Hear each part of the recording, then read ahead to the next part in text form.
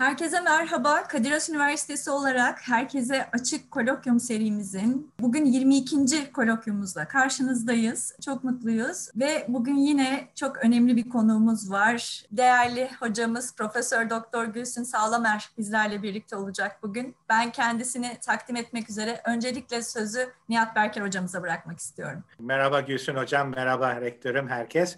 E, ben ilk başta yine bu kolokyumları desteklediği, mümkün kıldığı ve başta başlattığı için ilk kolokyumu kendisi verdi. E, rektörümüz Sondan Durukanoğlu Feyiz'e çok teşekkür ediyorum. Ayrıca bugünkü konuğu hepimiz tanıyoruz, herkes tanıyor. E, ama benim için çok özel bir yeri var, hayat değiştiren yeri var. Onu da söylemeden edemeyeceğim. 1996'da ben MIT'de profesördüm. İTÜ'yü ziyaret ediyordum. Önder Pekcan dekan o sırada beni yeni rektörün odasına götürdü. Gayet hatırlıyorum vizüel olarak o günü o konuşmadan çıktım. Hay Allah dedim ben Türkiye'ye dönüyorum dedim. E, dolayısıyla e, benim hayatım öyle değişti. Allah için de bir kere bile bir saniye bile ah niye döndüm demedim. Onun için e, bunun için de özel bir kişisel teşekkür Gülsün Hocam. Ayrıca burada olduğunuz için çok teşekkür ederim. Hepimize bir ilham kaynağısınız. Sözü Sayın Rektörüme veriyorum. Buyurun. Nihat Hocam teşekkür ediyorum. Her kologyumda yaptığımız gibi Nihat Hocama çok çok teşekkür etmek istiyorum. Bu online platformda da canlı başladık, yüz yüze başladık bu halka açık konferanslar serisine online platformda da hiç aksatmadan çok değerli konukları bu platforma getirdiği için çok çok teşekkür ediyorum. E, bugünkü konuşmacıyı takdim etmek benim için gerçekten çok özel bir gurur kaynağı. E, Nihat Hocam'ı belki Amerika'dan Türkiye'ye getirdi ama Gülsüm Hocam benim ilk rektörümdür. Amerika'dan döndükten sonra İstanbul Teknik Üniversitesi'nde başladığımda İstanbul Teknik Üniversitesi'nde yaptığı atılımlara şahit olarak e, bir öğretim üyesi olarak onun üniversitesinin çatısı altında çalışma fırsatı buldum. Gülsüm Hocam çok kısa bir özgeçmişinizden bahsedeceğim. Ondan sonra sözü size bırakacağım ve İstanbul Teknik Üniversitesi'nde yaptığınız dönüşümleri dört kulağımız, gözlerimiz, kula neyse algılışlarımız hepsiyle dinleyeceğiz hocam. Gülsüm hocamız 1967 yılında İstanbul Teknik Üniversitesi Mimarlık Bölümünden yüksek mimar olarak mezun olduktan sonra gene aynı üniversitede doktorasına başladı ve 1973 yılında doktorasını İstanbul Teknik Üniversitesi Mimarlık Anabilim Dalı'nda aldı. 1978 yılında aynı bölüm aynı üniversitede doçent oldu ve 1988 yılında da aynı bölüm aynı üniversitede profesör oldu. Kendisi İTÜ'lerin dediği tanımlama içerisinde homemade İTÜ'lü olmasına rağmen o üniversitede o büyük dönüşümleri yapabilmek çok çok çok özel e, yetkinlikler ve adanmışlık gerektirir. Bunun altını özellikle çiziyorum. E, 1992 yılında İstanbul Teknik Üniversitesi'nin ilk rektör, e, kadın rektör yardımcısı oldu. Ama yetmez tabii ki. 1996 yılında düşünebiliyor musunuz? Mühendislik Okulu ve ilk kadın rektör olarak 1996 yılında İstanbul Teknik Üniversitesi'nde e, yöneticilik deneyimine deneyimler kattım. Bu dönem 1996 ve 2004 yılına kadar devam etti. Bugünkü konuşmasında da zaten Gülsüm Hocam o dönemde yaptığı dönüşümleri biz hem anlatacak biz de birincilerden duyma fırsatını yakalayacağız. Tabii hocamız durmaz. Ee, hocamız e, ben e, Gülsüm Hoca'yı Amazon kadınları diyorum. Bu sefer uluslararası platformlarda özellikle amacı da kadının yüksek öğretimdeki yerini yükseltmek üzere yaptı. Hem proje odaklı yani sadece yöneticilik ya da bir rol model'ın ötesinde çorbaya e, tuzu her bir şeyi katmak adına çok yoğun bir şekilde çalışmalarına başladı ve devam ediyor. Ve ben bu çalışmanın bir parçası olduğum için ben de çok çok mutluyum. Evet şimdi izninizle ben sözü Gülsüm hocama bırakıyorum. 2004 1996-2004 arasında İstanbul Teknik Üniversitesi'nde dönüşüm hareketi diyorum ben. Hep beraber dinleyelim. Buyurun Gülsüm Hocam. Öncelikle Sayın Rektör Sondan Durukanoğlu Feyze e, ve sevgili Nihat Berker'e çok teşekkür ediyorum. Bu kolokyuma beni davet e, ettikleri için. Gerçekten benim için de önemli bir kilometre taşı olacak diye düşünüyorum. Diyeceksiniz ki 75 yaşında ne kilometre taşı hocam? daha uzun yıllar yaşayacağımı ümit etmekteyim. Şimdi çok güzel sözler söylediniz. Yaptığı, gerçekleştirdiği değişim dediniz. Ben bunu kendim yapmadım. Hep beraber yaptık. Çünkü bir kişi bir şey yapamaz arkadaşlar. Biz bir takımdık. O takım gerçekten çok iyi kurulmuş bir takımdı ve hep beraber çok önemli bir değişimi gerçekleştirdik hep beraber ve bunun da yani zorlanmadan keyfini yaşadık. O değişimin sonuçlarını gördüğümüz için. Dolayısıyla sonra sonunda da teşekkür edeceğim ama şimdiden baştan da buna katkısı olan herkese ama herkese sonsuz teşekkürlerimi sunuyorum. Takım çalışması her zaman bireysel çalışmanın çok ötesindedir. Her e, mesele kurum veya ülke olunca e, takımsız asla büyük işler gerçekleştirilemez diye düşünüyorum. Bizimki ne kadar büyük bilmiyorum ama bana göre oldukça etkili bir işi hep beraber başardık. Şimdi prezentasyona geçelim isterseniz daha fazla vaktinizi almadan. Şimdi bu sunumun adı Gelecek için Strateji. Bilgi üçgeninde atılım İstanbul Teknik Üniversitesi'nin 1996-2004 dönemi de gerçekleştirilen büyük değişim projesini dilimin döndüğü kadar anlatmaya çalışacağım. Bu sonuç benim ve Memduh Karakullukçu tarafından OECD IMHE e, Paris 2004 toplantısında sunulan bildiri, Birgül Tantekin Ekrem ikinci yönetimindeki grup tarafından hazırlanan İstanbul Teknik Üniversitesi European University Association Institutional Evaluation programında hazırlanan Self Assessment Report, e, raporu, İTÜ Atılım Projesi, İTÜ 2005 Yeni Ufuklar Projesi ve 8 yılın sonunda yayınladığımız 1996-2004 dönemi kitabı esas alınarak hazırlanmıştır. İçeriğine bakacak olursak İstanbul Teknik Üniversitesi'ne kısa bir bakış özetlemeye çalışacağım. Hayal gibi görünse de aslında son derece gerçekçi olan misyonu dilimin döndüğü kadar açıklayacağım. Ve misyonun gerçekleşmesinde üniversitede var olan temel öge ve değerlerden söz edeceğim ki bunlar kurumsal değişim yeteneği, dış sınır koşullarının değiştirme yeteneği, üst düzey kaliteli insan kaynakları. Bunun arkasından bilgi üretiminin ön saflarına yer alabilmek için stratejilerin belirlenmesi, eğitimde reform, araştırmada atılım ve inovasyon için yeni bir agora, teknokent. Şimdi burada önemli olan şey şu idi arkadaşlar.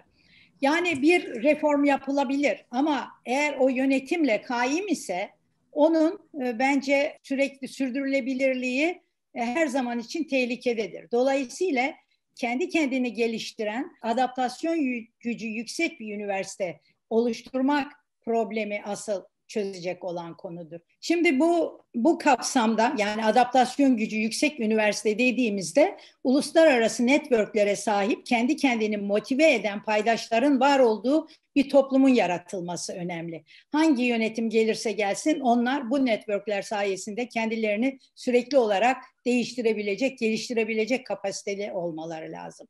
Çok çok katmanlı bir sistemin tüm üniversite eylemlerinde kalite kontrolünü gerçekleştirmek üzere uygulanması gerekir. Ve yönetimin kalite kontrolü süreçlerinde de son, son başvuru yapılacak yer olarak görülmesi, tüm sistemin buna göre tasarlanması gerekir diye düşündük. Şimdi 1996 yılında İstanbul Teknik Üniversitesi 223 yıllık geçmişe sahip bir yüksek öğretim kuruluşu. Çok geniş disiplin alanlarına yayılmış bir üniversite. Mühendislik, mimarlık, fen bilimleri, denizcilik, işletme, yönetim, müzik, sanat. Yetkin, birikimi yüksek alanları çeşitlenmiş ama kaynak ve fırsat kısıtları dolayısıyla üretimi de sınırlanmış bir akademik kadrosu var lisans ve lisans üstündeki öğrenci sayılarına baktığımızda 5500 lisans üstü öğrencisi, 18 binde lisans öğrencisi var. Geniş ve güçlü mezun ağına sahip, 3 başbakan, 2 cumhurbaşkanı, ülkenin önde gelen endüstri kuruluşlarına sahip mezunlar ve öncü kaliteli bilim insanlarına sahip olan bir üniversite. Şimdi o 1980'lere geldiğimizde üniversitemizin birçok sorunla karşılaştığını görüyoruz. Ulusal ve uluslararası düzeyde artan yarışma ortamı teknik üniversitenin üzerinde baskılar yaratmaya başlamıştı. Öğrencilerin tercihlerinde de İstanbul Teknik Üniversitesi'nin çekiciliği giderek düşmekteydi. Azalan devlet bütçesi önemli kısıtlar yaratıyordu. Artan lisans öğrencisi, 18 bine çıkmış lisans öğrencisi de gene baskı yaratıyordu. Uluslararası ilişkilerin önünde hem finansman açısından engeller vardı hem de başka yönetim açısından engeller vardı. Araştırma ve eğitim altyapısının yenilenememesi önemli bir sorundu. Araştırma ve inovasyonu özendirecek teşvikler yeterli değildi. Sürekli kalite iyileştirme mekanizmalarını olan gereksinim henüz gündemde değildi. Kalite kültürü, kalite yönetimi, insan kaynaklarının geliştirilmesi gibi konular henüz üniversitenin gündeminde değildi. Sorunları kendinde değil dış etkenlerde arama alışkanlığı vardı. Ne zaman yukarıya bir proje götürüyor olsak yasalar izin vermiyor, finans kaynaklarımız yetersiz diye yanıt veren yönetimler vardı. Bu da üniversitede çok değerli insan kaynaklarına sahip olmasına rağmen atalet yaratıyordu. Reformları gerçekleştirmek için tasarlanan iddialı ama gerçek misyon için kurumun iddialı hedefleri o onun yetenekleriyle örtüşmeli diye düşünüyoruz. Siz bir, bir çok hedefi önünüze alabilirsiniz ama acaba e, kurumun yetenekleri bu iddialı hedefleri yerine getirmek için yeterli midir? Kurumun değişime yatkın olması gerekir. Değişim kültürünün var olması gerekir. İkincisi dış sınır koşullarını değiştirme yeteneğine sahip olması gerekir. Bu da mevzuat ve finansal sınırları değiştirme yeteneği olarak kısaca açıklanabilir. Üçüncüsü kurumun yüksek kalibreli insan kaynakları. Bu zaten vardı. Kurumun yeni bir sistem tasarlamak ve uygulamak için kendini motive edebilen, inisiyatif alabilen uzman insan kapitali mevcut mu sorusunda en rahatlıkla cevap verdiğimiz soru buydu. Evet böyle bir kapasite vardı ama mevcut koşullarda atıl durumdaydı. Kurumsal değişime baktığımızda Teknik Üniversite'nin 1773'te Mühendishane-i Bahri Hümayun olarak Osmanlı İmparatorluğu döneminde ilk gemi mühendisliği kurumu olarak kurulduğunu biliyoruz. 1795'ten itibaren askeri olan bu okula tüm etnik ve dini gruplardan öğrencilerin alınmasına ve Fransızcanın zorunlu dil olarak kabul edilmesine karar verilmiş. 1847'de imparatorlukta ilk defa mimarlık alanındaki dersler verilmeye başlanmış. Mühendislik Okulu'nun 1883'te altyapı konuları içerecek biçimde geliştirilmesini görüyoruz tarihinde ve Türkiye Cumhuriyeti döneminde 1923'te kuruluşu ile mühendislik alanında anahtar konumda bir kurum olan Genç Cumhuriyeti yatırımlarının gerçekleşmesine katkılar yapan bir önemli yüksek öğretim kurumu olarak karşımıza çıkıyor. Buraları geçeceğim. En son yaptığı büyük reform 1969 yılında yaptığı ve çok iyi yapılanmış 5 yıllık mühendislik mimarlık eğitiminden 4 artı 2 lisans yüksek lisans sistemine geçişiyle reformist yapısını bir kere daha ortaya koyması oldu. Biliyorsunuz Avrupa Bologna süreciyle 1998'de 3 artı 2 veya 4 artı 2 sistemine yani three cycle dediğimiz lisans, lisansüstü ve doktora sistemine geçti. Ama teknik üniversite neredeyse ondan 30 sene önce kendi kendisini bu sisteme kendi iradesiyle geçirmiş bir üniversite. Bütün bu değişim ve reform süreçleri kurumun ne kadar reform gerektiğinde bu reformları dışarıdan dikte edilmeden yapma yeteneğini kanıtlıyor ki bu çok önemli bir özellik. En sonunda da bizim yaptığımız eğitimle ilgili reformlara daha sonra geleceğim ben. Dış sınır koşullarını kontrol edebilme yeteneği. Şimdi denilebilir ki biz yasaları, efendim mevzuatı nasıl değiştirebiliriz veya finans kaynaklarını nasıl çeşitlendirebiliriz? Bu çok önemli bir özellik. Bu dış sınırlamaları ve finans kısıtlarını değiştirme kapasitesine sahip olmak bir kurumun hayal ettiği değişimi gerçekleştirmesi için anahtar olan bir kapasitedir. Değişim kapasitesi kurumun değişim sürecinde karşılaşabileceği dış mevzuatla ve finans ile ilgili sınırlamaları biçimlendirme yeteneğiyle doğrudan ilgilidir. İTÜ her zaman devlet katında ve toplumda gördüğü saygı ve güvenirlikle sorunlarını çözmeye yeteneğine sahip olmuş bir kurumdur. Bunu 1969 değişim reform e, projesi de açıkça kanıtlamaktadır. Tarihine baktığımızda geçmişten günümüze en eski teknik üniversite, büyüklük olarak o yıllarda en büyük teknik üniversite, itibar açısından baktığımızda yaptığı reformlarla itibar kazanmış olan bir kurum. Peki İTÜ toplumda üst düzeyde görev almış saygın sayıda mensup ve mezuna sahip bir üniversite midir? Evet. İş dünyasında lider mezunlar, bürokraside lider mezunlar ve politikada lider mezunlar. Ancak kurumun devlet ve iş dünyasındaki akademik ve politik kapitali yalnızca dış sınır koşullarını yeniden biçimlendirme olanağını sağlayabilir. Politik kapital şüphesiz reform için kullanılabilir. Ama eğer kurum başarılı bir şekilde reform için projelerini tasarlayıp uygulamaya koyabilirse bu gerçekleşebilir. Peki şimdi bakalım kapasitemize. Demin de söylemiştim. Yüksek kalibreli, kendini motive eden insan kaynakları. Öğretim üyeleri ve öğrenciler sistemi kendi inisiyatifleriyle ileriye taşıyacak motivasyona sahip hırslı bireyler mi yoksa yönetimden gelecek etkilerle mi bu hedefleri gerçekleştirmeye çalışacak bireyler mi? Bizim öğretim kadromuz fevkalade güçlü olmasına rağmen o yıllarda atalet içerisinde yukarıdan gelecek etkilere odaklanmış durumdaydı. Halbuki herkesin fikir üretmesi ve o yönde topyekün bir değişim sürecinin yaşanması gerekiyordu. Kendi kendini geliştirecek kurumların tasarımında bireylerin aşağıdaki özelliklere sahip olmaları gerekir. Bir kere bottom-up e, süreçleri başlatmak. İkincisi uluslar ağlarla yoğun ilişkiler kurmak.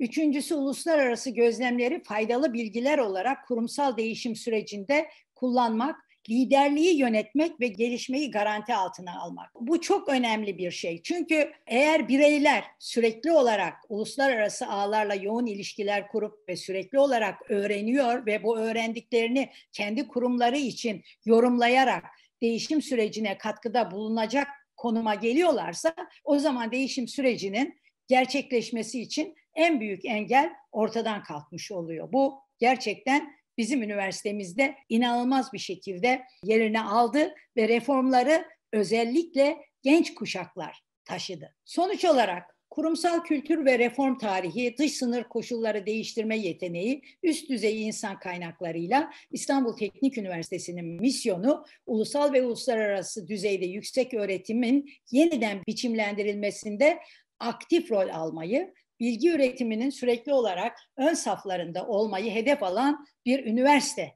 olmak olarak belirledi. İTÜ yeni reform yolculuğuna 1996 yılında bu zorlu fakat gerçekçi iddia ile çıktı.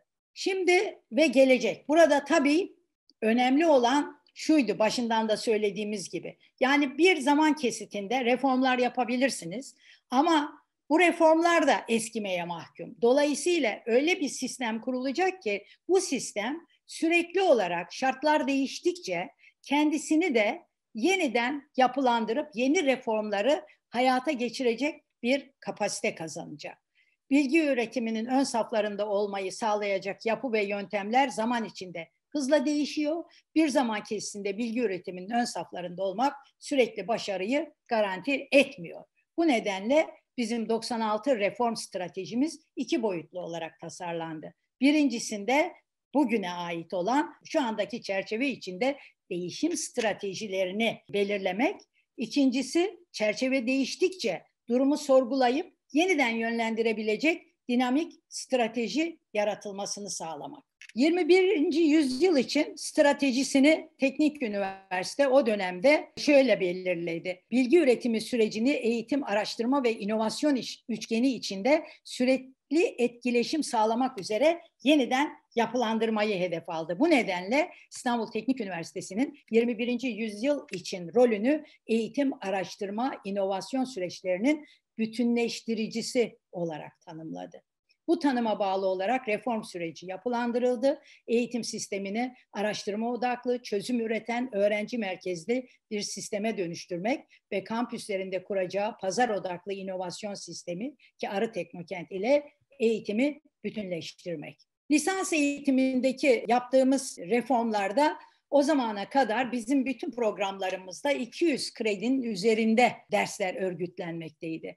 Bu kadar çok ders saatinin olması öğrenciye serbest zaman bırakmak ve aktif öğrenme alışkanlıklarının geliştirmesine olanak vermiyordu. Bu nedenle kredilerin azaltılması ilk yapılacak işlerden birisiydi ve burada tabii ki pek çok dirençle karşılaştık. Ama sonuçta bu gerçekleşti. Çift anadal programlarının başlatılması, çok yönlü düşünme, mühendislik öğrencilerine sosyal bilimler ve beşeri bilimler alanında zorunlu derslerin konulması ile ufuklarının geliştirilmesini sağlamaya çalıştık. İnsan ve Toplum Bilimleri bölümünü kurduk. Burada Nihat Berker'in çok bize katkısı vardır. Amerika'da Nur Yalman Bey ile yaptığımız toplantılarda çok şey öğrendik. Çok iyi bir şekilde İnsan ve Toplum Bilimleri bölümümüzü Fen Edebiyat Fakültemizin içerisinde örgütledik ve çok değerli insanları o yıllarda bu bölümde alıp çok üst düzeyde derslerin verilmesini sağlayabildik. Daha sonra maalesef burada beklenmeyen gelişmeler veya negatif gelişmeler maalesef oldu. Şu andaki durumunu fazlaca bilmiyorum diyebilirim. Daha fazla proje, problem, deney yönelimli eğitime odaklanmak, fakülteler arası ortak temel derslerle farklı disiplinlerden öğrencilerin karşılaşmasını sağlamak. Bu çok önemliydi çünkü bizim üniversitemizin mevcut yapısında e, her bir fakülte ayrı bir üniversite havasındaydı bu fakültelerin birbirleriyle özellikle öğrencilerinin birbirleriyle etkileşimi son derece sınırlıydı. Ortak dersler, havuz dersleri dediğimiz dersleri düzenleyerek öğrencilerin karşılaşmalarını böylece çift anadal programları için de diğer bölümlerden daha çok insanla karşılaşıp kendilerine bir yol çizmelerini sağlayabildik. Lisans eğitiminde yapılan ikinci önemli konu iki dilli eğitime geçmek. Yani farklı sistemlerle birlikte çalışabilme yeteneğini öğrencilerin geliştirmek. Sadece ders notlarına bağlı olan bir eğitimi dünyaya açmak için İngilizcenin, lingua franca olan İngilizcenin ikinci dil olarak öğretilmesinin gerekli olduğunu düşündük ve yüzde otuz kredilerin İngilizce açılan derslerden alınmasını zorunlu hale getirdik. Daha sonra bu yüzde otuzu biz kendimiz icat etmiştik. Bugün Türkiye'de aynı modeli kullanan çok sayıda üniversite var. Bu da teknik üniversitenin ta başında söylediğim gibi ülkede etkisi fazla olan, e, impact'i fazla olan bir üniversite olduğunu tekrar bize göstermiş oldu. Yabancı Diller Okulu'nu yeniden yapılandırdık. University of Connecticut'la yürütülen işbirliği sayesinde 40 native speaker okutmanı üniversitemize getirmeyi sağladık. Onlara eşyalı full aksesuarıyla döşenmiş 40 tane konut verdik ve onların maaşları ilk iki sene mezunlar tarafından ödendi arkadaşlar. Daha sonra onların bakanlıkta, Maliye Bakanlığı'ndan evlendirmeleri sağlanabildi. 100 üniversite ile öğrenci değişim anlaşmaları yapıldı. İddialı Erasmus programı uygulamasına başlandı.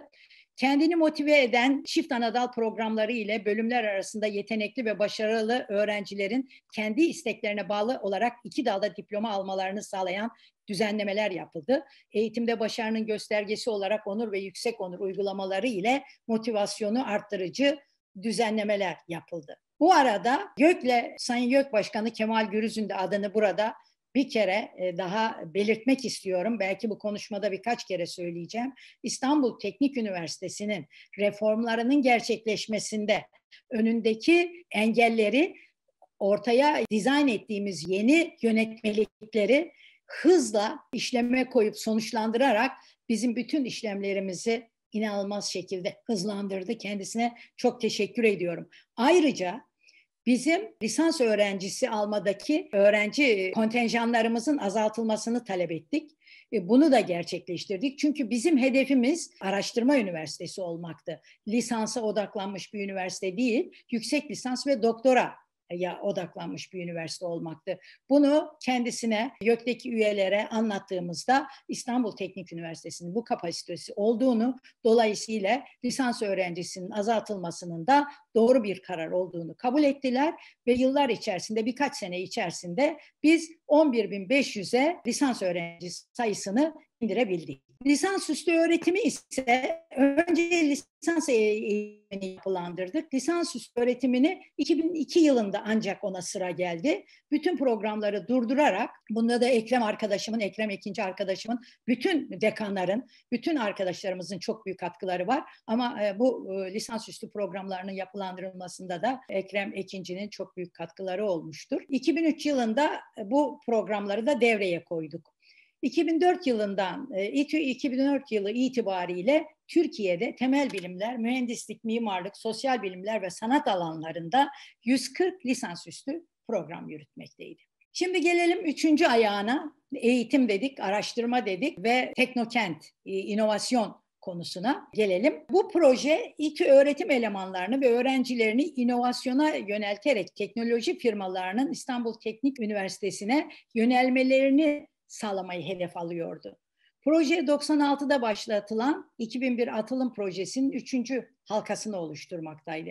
Proje aynı zamanda dış sınır koşullarının yeniden yapılandırılmasını da gerektiriyordu. 2001 yılında teknoloji bölgeleri yasası kabul edildi. Ara Teknokent anonim şirketi ise kuruluşunu 2002 yılında tamamladı. Finansal kaynakların bir kısmı mezunlar ve devlet planlama teşkilatı ve TTGV aracıyla Dünya Bankası'ndan aldığımız kaynaklarla sağlandı. Proje hızla gelişti. 2003 yılı itibariyle 6500 metrekare alana 450 teknoloji geliştirme personeline, 2004 yılı itibariyle 20 bin metrekare alana 1500 teknoloji geliştirme personeline ulaşıldı. 2005'te yılında ise 50 bin metrekare alana ulaşılması, 3000 teknoloji geliştirme personeline e, ulaşılması hedef alınıyordu ama ondan sonra fazla bir gelişme olmadı. Ben bugünkü rakamları Arı Teknokent Genel Müdürü Atilla Dikbaş arkadaşımdan aldım. Bugün Arı Teknokent'te 10 binamız var. 110 bin metrekare alanımız, 288 ARGE firmamız ve 7869 personelimiz var arkadaşlar. Yani hızla gerçekten gelişmeye devam etti ve burada işte yönetim bizim dönemimizde kuruldu ama bu kendi kendini geliştirme potansiyelini kazanmış bir proje olarak önümüzde duruyor. Bu proje İstanbul Teknik Üniversitesi'ni bölgede bilgi üretiminde lider, araştırma ve inovasyon bağlantısını yeniden yapılandıran, inovatif araştırmacı kaynaklarını küresel yetenek havuzuna yönlendirecek bir potansiyel kazandırmayı hedef almıştı. Şimdi bizim hedefimiz bilgi üretiminin ön saflarında olmayı sağlayacak stratejileri geliştirmek, bunları tasarlamak ve şimdi ve gelecekte yapacağımız çalışmaları örgütleyerek hayata geçirmekti. Paydaşlar topluluğunun özelliklerini daha evvel zaten belirtmiştim. Uluslararası ilişkiler ağlarına sahip, yeni fikir, eğilim ve görüşlere açık, yeni kazanımlarını İTÜ'ye kanalize etmeye kararlı ve bunu yapacak ilişki ve yeteneklere sahip olma. İkincisi kalitenin çok katmanlı, sürekli kontrol edecek mekanizmalara sahip olması. Uluslararası akreditasyon, toplumda itibarı olan en iyi öğrencileri, öğretim üyelerini, girişimcileri, uluslararası ortakları çekme yeteneğini şeffaf süreçlerle gerçekleştirmek, kalite yönetiminde üniversite yönetiminin son başvurulan kademe olmasını sağlamak. Yani bölümler kendileri bu misyonu sahiplenip en iyi öğrenciyi, en iyi e, öğretim üyelerini, en iyi yüksek lisans doktor öğrencilerini çekme ihtirasına sahip olmak durumundalar ki sürekliliği, gelişmelerde sürekliliği sağlayabilelim. O zaman bunlar gerçekleşti. Bence hala devam ediyor. Öyle olmasa Türkiye bu bin bilim adamı içerisinde de 36 bilim adamıyla birinci sırada olmazdı diye ümit ediyorum yani öyle düşünüyorum. O haber sevindirici. Şimdiki rektörümüzün de o bilim insanlarından birisi olması o da bizim için sevindirici bir olay. Bilgi üretiminin ön saflarında e, olmasını sağlayacak stratejilerde üniversite yönetiminin görevi ne? Paydaşlar arasında bilgi alışverişini koordinasyonunu ve sentezini yapmakla sorumlu. Kurumu dış sınır şartlar koşullarından doğrudan koruyan bir tutum içinde olmaktan sorumlu. Tüm sistemi üstten izleyen, yönlendiren, destekleyen bir yapı kazanmak zorunda. Yani içine girip karıştırmak değil, üstten izleyerek o doğal tabandan gelen enerjiyi verimli olarak kullanma yeteneğini göstermek. Gelecek için tasarımın adımlarında 100 aktif uluslararası ortaklık anlaşması ile sağlanan öğrenci ve öğretim üyesi değişim olanakları. Burada en önemli gelişmelerden birisi Türkiye'de en iyi uygulamayı yapmış olmamız dolayısıyla State University New York'un çeşitli kampüsleriyle kurduğumuz ortak lisans programlarıdır. Altı programı o zaman hayata geçirdik. Bu gerçekten önümüzde önemli olanaklar yaratan ve ufkumuzu açan bir girişim oldu. Burada da gene Sayın Kemal Gürüz'ün çok büyük emeği geçmiştir bu projelerin bütün Türkiye üniversitelerinde yaygınlaşması için. 140 genç öğretim üyesinin 5-10 ay süreli yurt dışında çalışmalarının mezunların sağladığı kaynaklarla desteklenmesi. Başlangıçta çok sevdiğimiz gene bir abimiz Sayın Nurettin Koçak'ın bu projeyi başlatmakta çok büyük katkısı olmuştur. O bina yapmayı uygun görmedi. Dedi ki ben insan kaynaklarına yatırım yapmak istiyorum. İngilizce, yabancı dil bilen öğretim üyesi sayısının artması lazım. Ben o alana yatırım yapacağım dedi. Kendisi bize çok büyük destek verdi. Bir süre sonra da bizim İTÜ Geliştirme Vakfı'nın kazandığı kaynaklarla biz kendi kendimizi yürütmeye devam ettik. Çok uluslu lisans ve lisansüstü programlara katılma olanağımız oldu. Uluslararası yüksek öğretim ağlarında aktif üyelik sağladık. Ben burada hepsini sırayla okumayacağım ve uluslararası yayınlara verilen ödüllerde büyük artışlar sağlayarak üniversitemizde bu alanda motivasyon yaratmaya çalıştık. Sonucunu da aldık. Çünkü ilk 96 yılı itibariyle Orta Doğu'yu, Orta Doğu Teknik Üniversitesi bizim en büyük rakibimiz olduğu için onu söylüyorum tabii. Önce Orta Doğu'yu geçtik ve benim rektörlüğüm bitinceye kadar 8 sene içerisinde iki kere Orta Doğu e, Üniversitesi bizim önümüzdeydi. Geri kalan 6 senede İstanbul Teknik Üniversitesi uluslararası yayın sıralamasında Orta Doğu'nun önünde olmayı başarmıştı. Bu da bizim için önemli bir başarı göstergesiydi. Bu iki üniversitenin de biliyorsunuz teknik üniversite ikisi de tıp fakülteleri yok. Dolayısıyla tıp fakültelerinin yayın fazlalığının dışında değerlendirmeleri gerektiğini düşünüyorum. Şimdi kalite kontrolüne gelince bunda tabii ki çok büyük bir aşama kaydettik. Çünkü daha evvel Boğaziçi ve Orta Doğu Teknik Üniversitesi American Board of Engineering and Technology akreditasyonunu almışlardı. İlk defa bir devlet üniversitesi olarak Orta Doğu'da devlet üniversitesi, Boğaziçi'de devlet üniversitesi ama onların bir geçmiş Amerikan kurumu özelliği var.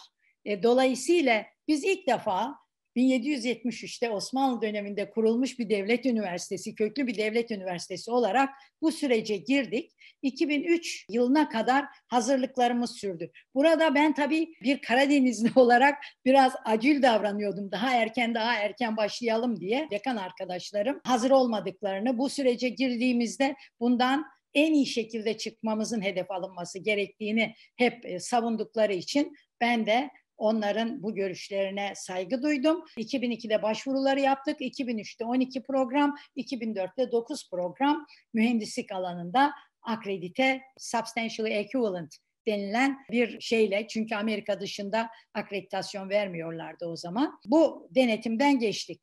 Ayrıca Avrupa Üniversiteler Birliği'nin kurumsal değerlendirme sürecinden de 2004'te geçtik. Bu da e, çok büyük bir başarı sağladı, sağladık bu değerlendirmede.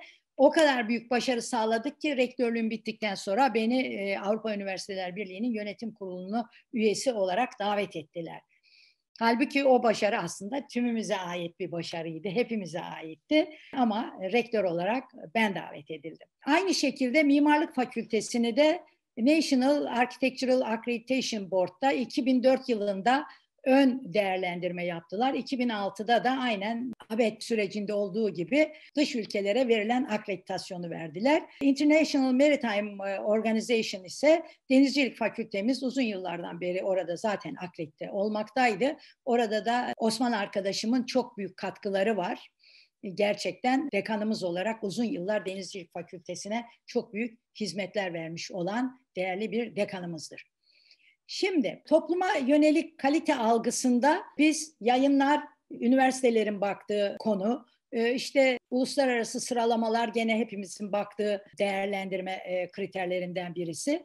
Ama rutin olarak aşağıdaki bilgilerin toplanması gerekiyordu. Üniversiteye girişte öğrencilerin sınav sıralamasındaki yerleri. Üniversiteye başvuran öğretim elemanlarının kalitesi ve son yıllarda da Ara Teknokent'e başvuran teknoloji firmalarının kalitesi. Yönetimin kendisi eğitimin, araştırmanın ve üniversitenin kendi içinde uluslar ve uluslararası düzeyde sağladığı hizmetlerin kalitelerinin yönetimini ve izlenmesinden de sorumlu olduğu için bütün bunları değerlendirmek ve ortaya çıkan sorunları çözecek şekilde gerekli değişim adımlarını atmak zorundaydı. Biz bu sürece başladığımızda kanaat oluşturma ve değişim için üniversitenin yönetiminin katalizör rolü oynaması gerekiyordu. Ve bu dönemdeki e, reformlar iki stratejik gelişme planı altında bu nedenle yönlendirildi. Birincisi 2001 atılım projesi, ikincisi 2005 yeni ufuklar projesi.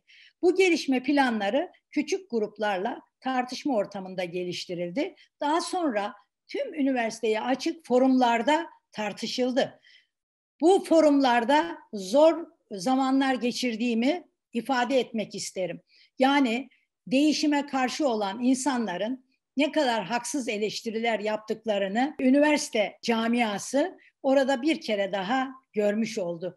Değişime, değişime hiç dinlemeden karşı çıkma o değişimin gerekçelerini anlamamaktan kaynaklanıyordu. Çünkü alıştığından farklı bir şey yapmaya başladığında kendisinin daha çok emek harcaması, yeni şeyler öğrenmesi gerekiyordu.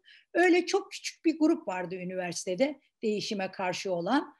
İşte 200 kredi 153'e inmesin bu çocuklardan o zaman mühendis olmaz gibi eleştiriler geliyordu. Biz bunların hepsini o forumlarda aşmayı başardık ve üniversitenin büyük çoğunluğu bu reformların arkasında durdu ve bunları büyük bir keyifle gerçekleştirdi. Toplamda peki bu işler nasıl yapıldı? Biraz sonra bağış programından da bahsedeceğim. Toplamda 140 milyon dolar civarında ek finansal kaynak mezunlardan ve devletten sağlandı.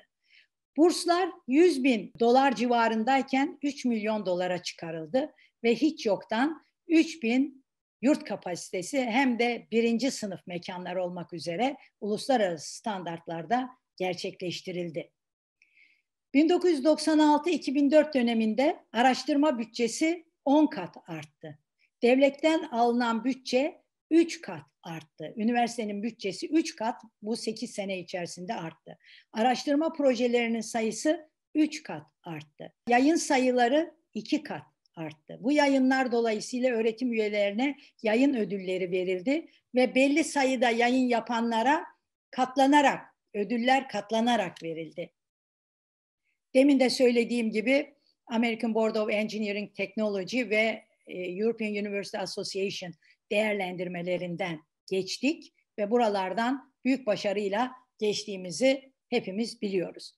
Araştırma fonunda 1995'te 73 proje desteklenirken ki bugünkü adı e, bilimsel araştırma projeleri, o zaman adı araştırma fonu idi.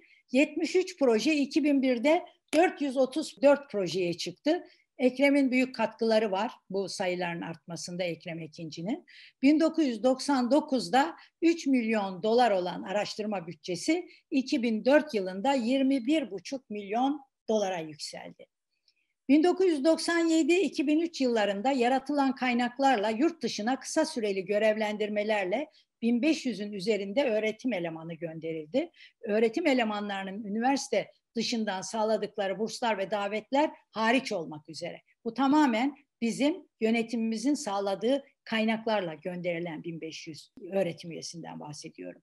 1999-2004 yılları arasında İTÜ önce mezunların bağışları ile daha sonra üniversitenin kendi yarattığı kaynaklarla 6-10 ay arasında uzun süreli demin söylediğim gibi 140 genç araştırmacıyı yurt dışında araştırma yapmak üzere görevlendirdi. Bunun en önemli sebebi yükseltilme kriterlerinde yaptığımız değişiklikti.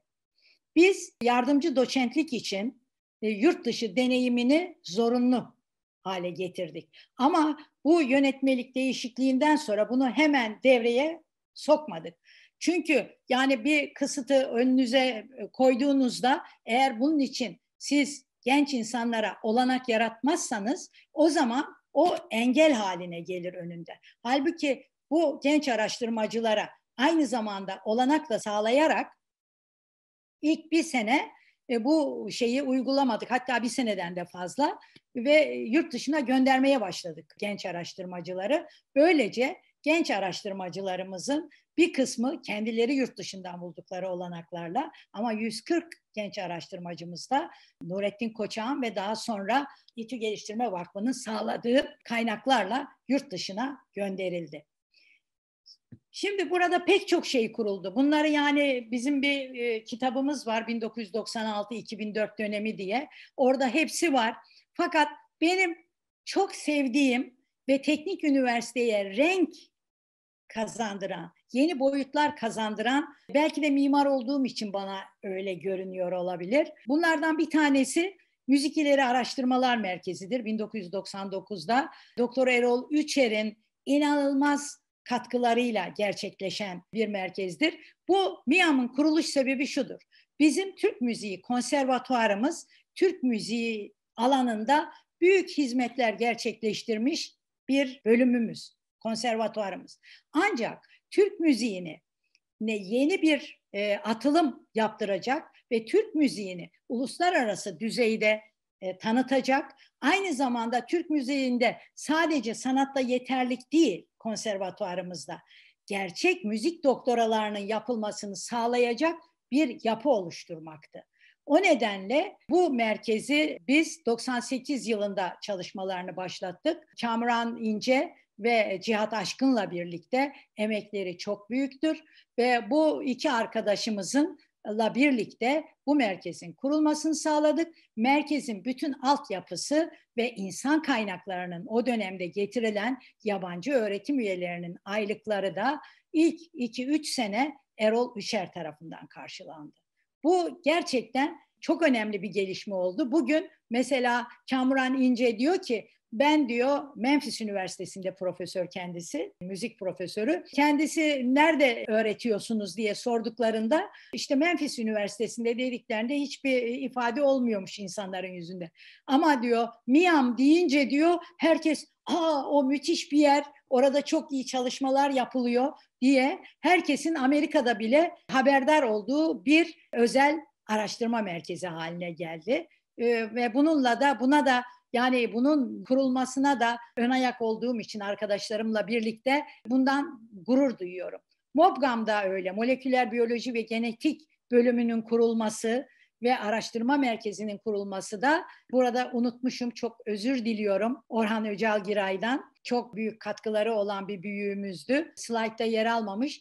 Orhan Öcal Giray'ın inanılmaz büyük destekleriyle biz MOBGAM'ı kurduk ve burada da inanılmaz bir kadro oluşturduk. Hepsi yurt dışı doktoralı 8 araştırmacıyı buraya getirmeyi başardık ve bu bölümün kendi kültürünü kendisinin oluşturması için çok gayret sarf ettim. Dışarıdan hiçbir bölüm başkanı atamadık. Hep kendi aralarından bölüm başkanlarını seçerek o bölümün kendi kültürünü oluşturmasına çalıştık. Çok başarılı bir bölüm oldu. İleri Teknolojiler programında çok büyük gelişmeler kaydetti.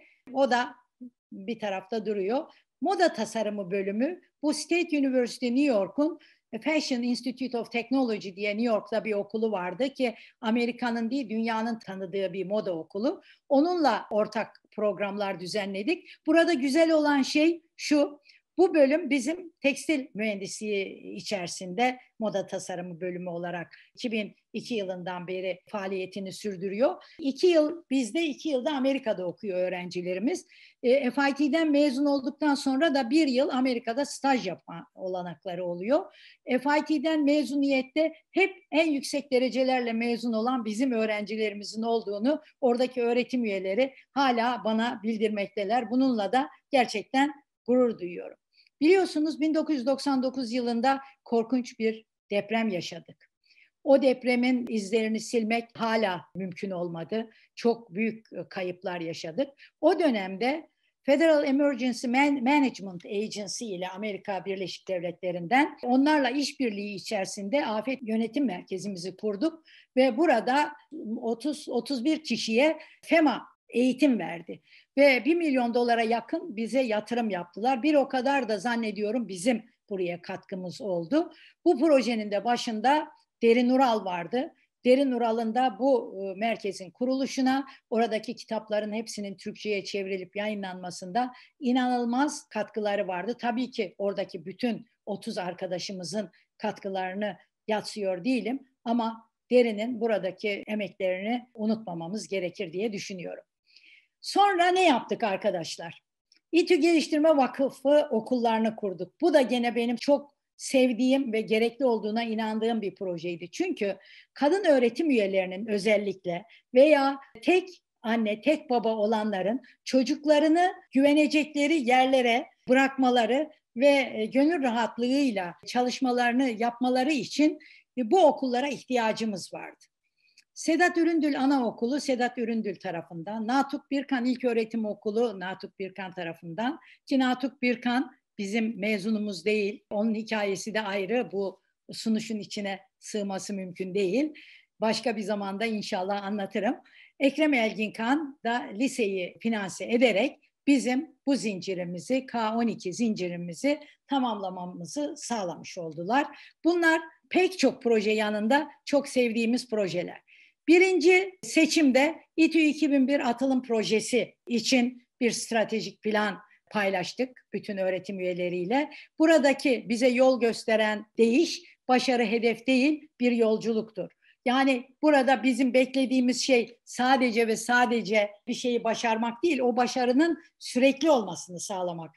Bu kitapçığın ön sayfasında şöyle bir şey var, onu size okumak istiyorum. Sevgili İstanbul Teknik Üniversiteliler, üniversitemizi ulusal ve uluslararası düzeyde önde gelen bir üniversite olarak görmek hepimizin ortak hedefidir. İçinde atılım heyecanı taşıyan bizlerin misyonu seçeceğimiz yöneticilerle güç ve inanç birliği içinde İstanbul Teknik Üniversitesi'ni layık Türkiye Cumhuriyeti'nin vazgeçilmez ilkeleri doğrultusunda üçüncü bin yıla taşıma sorumluluğunu başarının hedef değil bir yolculuk olduğu bilinciyle yüklenmek olmalıdır dedik. İkincisinde yeni ufuklar. Üçüncüsü ise kitap. Ne yaptık, neleri elde ettik? Bunların toplandığı bir kitabımız var ve devir teslim töreninde bu kitabı da öğretim üyelerimize e, dağıtabildik. Şimdi bu dönemde başka neler oldu? TÜBİTAK ödüllerine bir bakalım mesela elde ettiğimiz sonuçlara. 95 yılında sadece bir teşvik ödülümüz var 96 yılında hiçbir şeyimiz yok. 97'de bir bilim ödülü, iki teşvik ödülü, bir hizmet ödülümüz var. 98'de iki bilim ödülü, 99'da bir bilim, dört teşvik, 2000 yılında bir bilim, dört teşvik, iki hizmet, 2001'de bir teşvik ödülü, 2002'de iki bilim ödülü, 2003'te dört teşvik ödülü, bir hizmet ödülü. Bunların sebebi arkadaşlar fakültelerden önerilerin gelmesini sağlamaktı. Öneri yollamıyor sayımız az oluyordu herhalde ki daha önceki yıllarda daha az sayılarda e, ki daha az insan başvurduğu halde yani. Bu önemli bir başarı oldu o döneme ait. E, dolayısıyla bunu sizinle paylaşmak istedim. Biz tabii bütün bu eğitimde, araştırmada reformları yaparken e, kütüphanemiz o atılımları taşıyacak durumda değildi. Kütüphane otomasyonunu yaptık. Bu Inopak isimli dünyanın en ileri sistemini getirdik ve bunu install ettik.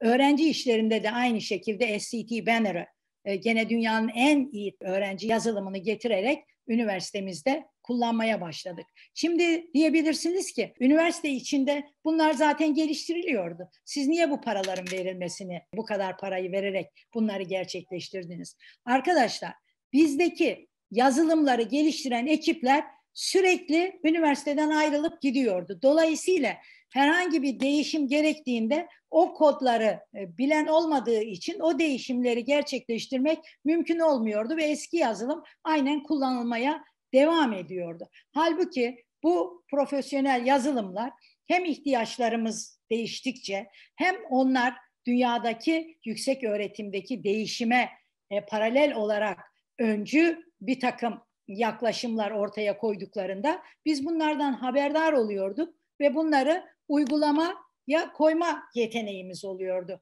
Hala bu yazılımlar kullanılıyor. Her sene upgrade ediliyor. Dolayısıyla işte sürdürülebilirlik bunlarda da sağlanmış oldu. Şimdi satın alınan yayın sayısındaki artışımızı görebilirsiniz ekranda.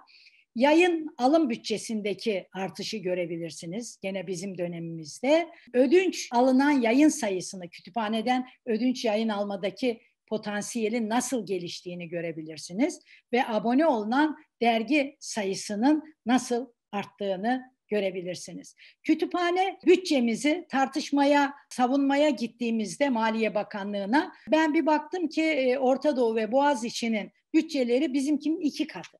Dedim ki niye bunlarınki iki katı da bizimki bunun yarısı oluyor dedim. Yani gerekçesi ne? Onlar dediler İngilizce öğretim yapıyor. E biz de başladık dedim. Bunlarınkinden bir kuruş aşağıya bu olamaz. Biz yeni başladığımız için hatta bize onlarınkinden yüzde elli daha fazla vermeniz lazım ki arayı kapatalım. İngilizce yayınlarda diye. Böyle mücadeleler vererek o bütçeleri, kitap alım bütçelerini, yayın alım bütçelerini, dergi alım bütçelerini hepsini arttırmayı ve bu gelişmeyi sağlayabildik. Arttırmayı başardık, gelişmeyi sağlayabildik. Şimdi bağışlara gelince bütün bu işler planlandığında ortaya şu çıkıyor. Yani neticede bütün bir sistemin upgrade'i için sonuçta yani yönetmeliklerde, mevzuatta değişiklikte kadar onlardan da belki önemli kaynak meselesi var. Dolayısıyla kaynak içinde mezunlarımız aslında yıllardır üniversite yönetimlerine gelip gidip bağış toplayalım diyorlardı. Ama bir çekingenlik vardı. Yani sanki biz mezunlardan bağış alırsak onlar bize etki ederler, bizim bağımsızlığımıza halel gelir gibi önceki yönetimlerin bir endişesi vardı. Ben bu endişeyi hiç duymadım çünkü topladığımız onca bağışa rağmen 80 milyon dolar bağış topladık, burslar dahil. Hiçbir mezun, hiçbir tanesi bir gün ya bana telefon açıp ya gelip Gülsün Hanım şu öğrencinin şöyle bir problemi var veya şöyle bir işimiz var gibi hiçbir şekilde hiçbir teklifte bulunmadılar. Onlar teknik üniversitenin mezunu. Başkasına benzemez arkadaşlar. Onurlu insanlar yaptıkları yardımları gönüllerinden coşarak yaptılar. Bir yapan bir daha yaptı, bir daha bağış yaptı ve bu insanlar sayesinde biz üniversitemizi kalkındırdık ve onların desteğiyle İTÜ Geliştirme Vakfımızı güçlü bir vakıf olarak yapılandırabildik. İTÜ Geliştirme Vakfı üniversiteye bağış verenlerin kurduğu vakıftır. Üniversiteyi taşımak için, mali sıkıntılarını gidermek için kurulmuş olan bir vakıftır. Reşat Bey zamanında bu kuruluşu tamamlanmıştır ama bağış toplaması e, bizim benim dönemimde gerçekleşmiştir. Burada Cumhurbaşkanlığına yaptığımız ziyaretteki fotoğrafı görüyorsunuz. Ve Cumhurbaşkanımız beni atamamı yaptıktan sonra bana e, telefonda dedi ki Rektör Hanım iki hafta içinde sizi ziyarete geleceğim projelerinizi bize anlatın. Biz tabii üç rektör yardımcısıyla hemen bir prezentasyon hazırladık ve o ziyaretten bir fotoğraf bu. Ve o zamanki ufkumuz onu da söyleyeyim. E, ilk hedefimiz 20 milyon dolar toplamaktı. Sayın Demirel dedi ki bu hiçbir şey değil rektör hanım dedi. Bu yetmez ama bununla başlayalım dedi. Ondan sonra bir 30 Mayıs 1997'de mezunlarla ilk toplantı düzenlendi. Bu Dolmabahçe Sarayı'nda düzenlenen bu toplantıya 200'e yakın mezun katıldı. Bundan sonra çeşitli şehirlerde mezun toplantıları düzenlendi. Bütün projeler mezunlarla paylaşıldı, geliştirdiğimiz projeler. Burada şunu şükranla açıklamak istiyorum. Bütün bu mimari projeleri İTÜ Mimarlık Fakültesi'nin öğretim üyeleri hiçbir kuruş almadan bağış olarak yaptılar. Hiç kimse ama hiç kimse herhangi bir beklenti içinde olmadı. Üniversitenin bu ihtiyacını severek, özenerek yaptıkları projelerle karşıladılar. Hepsine müteşekkirim. Burada tek tek adlarını sayamıyorum ama Mimarlık Fakültesi'nin yaptığı bu fedakarlık unutulmaz bir fedakarlıktır arkadaşlar. Bir diğer şey de gene Mimarlık Fakültesi öğretim üyelerimizden Atilla Dikbaş'ın kurmuş olduğu proje yönetim merkezi ile bütün bu yatırımların kontrollüğü ve şeffaflığı sağlanmış oldu. Geliştirilen e, yazılımla her yatırımı yapan mezun yatırımının hangi seviyede olduğunu bilgisayar üzerinden o tarihlerde kontrol etme yeteneğine sahipti. Öyle bir güven ortamı doğmuştu ki dediğim gibi demin de söylediğim gibi bir bağış yapan bir daha yapıyordu. Geçmiş yıllarda bir rektörlüğümün ilk yıllarında bir dekan zannediyorum Amerika'da Jefferson Üniversitesi mi oradaki bir dekan geldiğinde bağış toplamakla çok ünlü bir bayan bana dedi ki eğer bağış toplama işinde nasıl başarılı olurum e, başarılı olduğumu nasıl anlarım diye e, bir soru aklınıza geliyorsa onun anahtarı şudur dedi. Eğer bir bağış yapan tekrar yapıyorsa siz bağış toplamada başarılı olmuşsunuz demektir. Bizde arkadaşlar ne kelime bir yapan bir kere, iki kere, üç kere, beş kere bağış yaptı. Bu ortak bir güven ortamının oluşmuş olmasını gösteriyor. Ve bununla da gurur duyuyorum.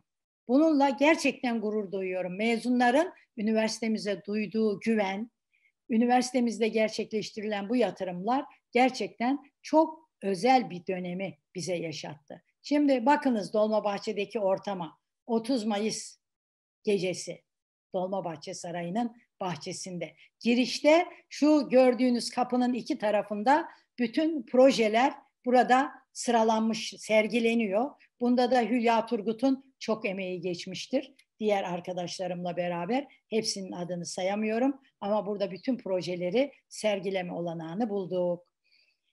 Şimdi bu bağışlar nasıl kullanıldı? Öncelikle tabii sınıflarımızın ortamı, eğitim ortamı, öğrencilere yönelik hizmetler, akademisyenlerin çalışma koşulları, mensupların çocukları için okulların yapılması, yurt dışı görevlendirmeler birinci aşamada can havliyle öncelikle bunlara yöneldik. Çünkü insanların konforunun yerine gelmesi gerekiyordu ki onlardan daha üst düzeyde performans bekleyebilelim. İkinci aşamada araştırma altyapısı, araştırma finansmanı ve yurt dışı ilişkilere yöneldik. Üçüncü aşamada da demin de söylediğim gibi Arı Teknokent gündeme geldi.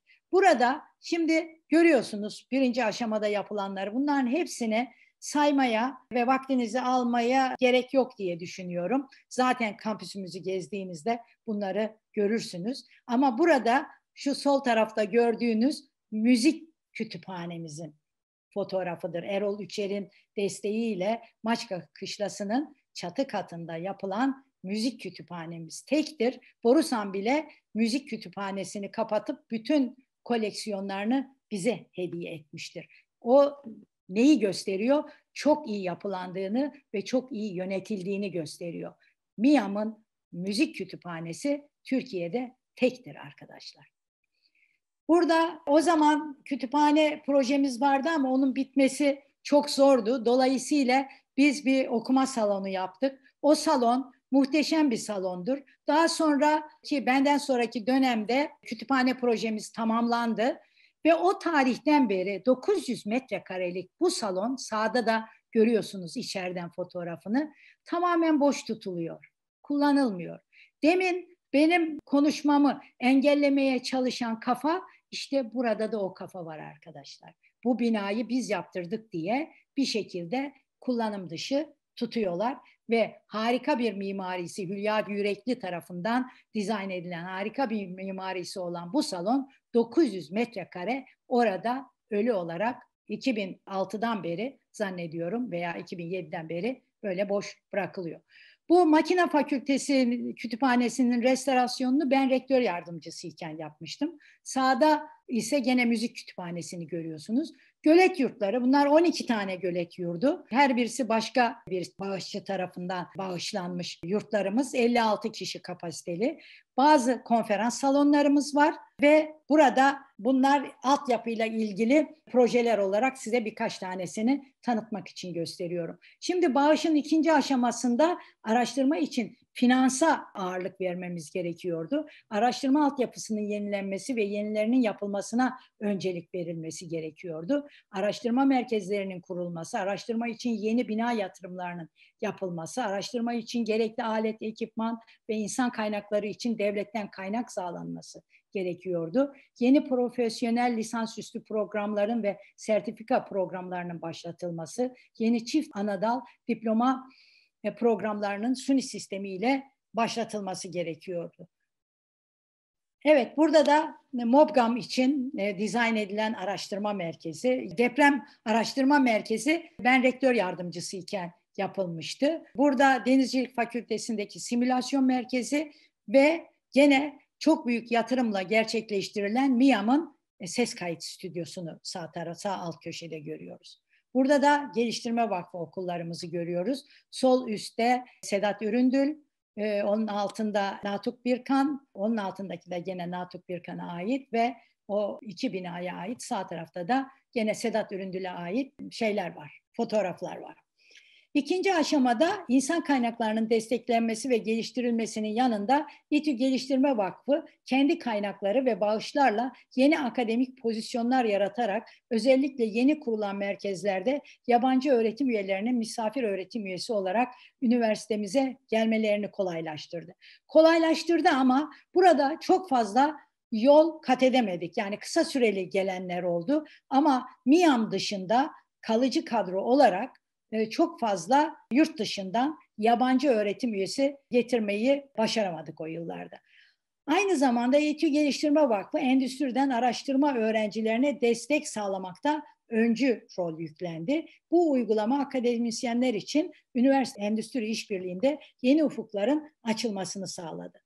Bütün bu gelişmelerden sonra İTÜ Geliştirme Vakfı sağlanan bu hizmetlerin kar amaçlı değil, kendilerini geliştirerek, yöneterek uzun ömürlü olmalarını sağlayacak düzenlemeleri yapmak üzere vakıf şirketlerini kurdu.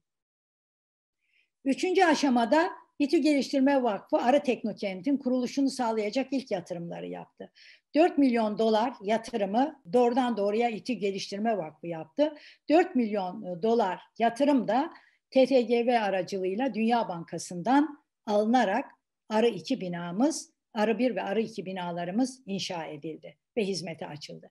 Arı Teknokent'ten gelecek kar payları ile üniversitenin araştırma potansiyelini zenginleştirmek, yurt dışı ilişkilerini geliştirmek ve üniversitenin kendisini geliştirmesi için finansal kaynaklar sağlayacak potansiyel kazandı. Ama bu daha sonra bu amaçla üzülerek söylüyorum kullanılmadı.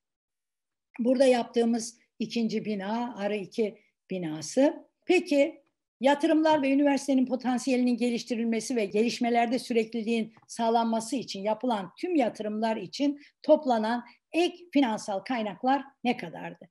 80 milyon dolar mezunlar ve endüstriden alınan bağışlar.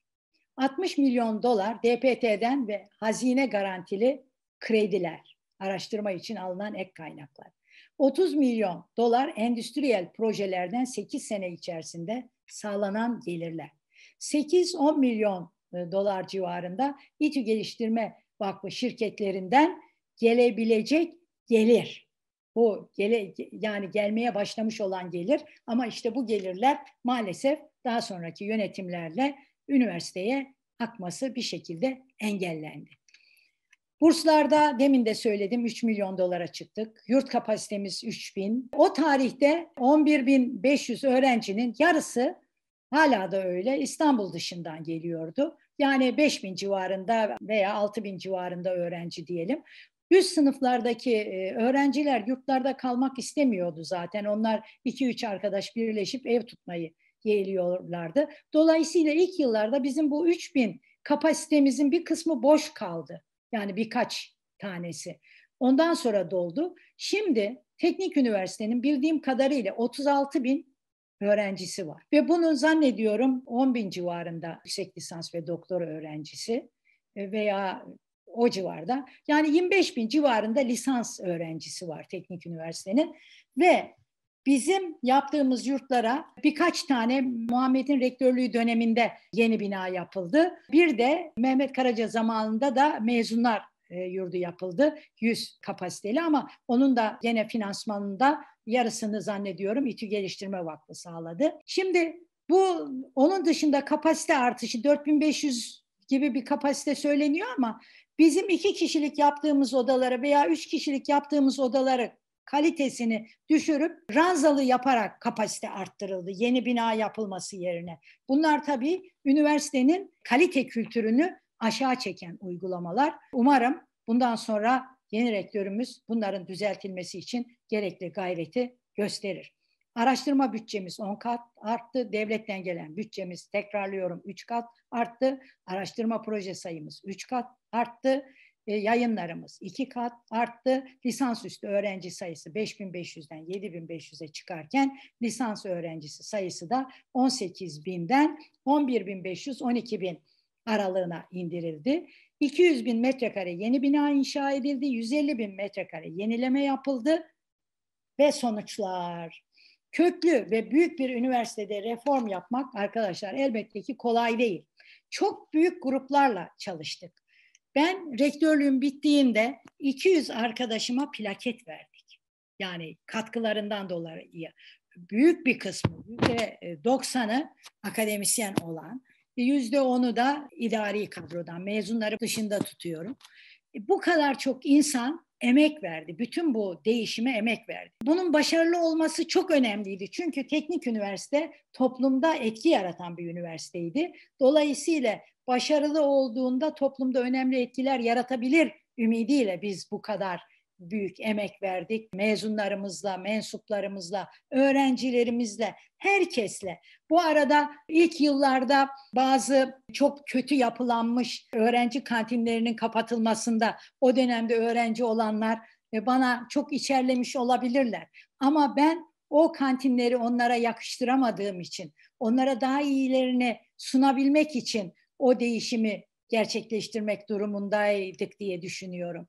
Ve orada da bütün yönetimde görüş birliği vardı. Sadece benim irademle veya benim isteklerime göre yapılanmadı. Sonuçta da çok iyi kantinlere kavuştuk ve o kantinleri işleten özel bir işletme kurduk. Dolayısıyla eski kantinlerde öğrencileri kantinde tutmak için bin türlü olanak yaratılırken bizim kantinlerimiz öğrencilerimizi en kaliteli hizmeti verirken öğrencilerimizi boş yere meşgul etmeyip derslerine yönlendiren bir yapı kazandılar. Dolayısıyla orada da her türlü ayrıntıyı düşünerek arkadaşlarımızla birlikte adım attık. Burada bizim karşılaştığımız en önemli entelektüel zorluklar şuydu. Bilgi üretiminin ön saflarında yer almak için tasarladığımız ve zaman içinde değişime göre sürekli geliştirmemiz gereken kurumsal yapının nasıl tasarlanması gerektiği. En önemli zorluk, en önemli uğraştığımız konu buydu. Öyle bir sistem olacak ki biz gideceğiz ama bu sistem kendi kendini yenileyecek ve zamana kendisini uyarlayacak. Evet arkadaşlar şimdi bir gerçeği sizinle paylaşmak istiyorum. Benim rektörlüğüm bitti.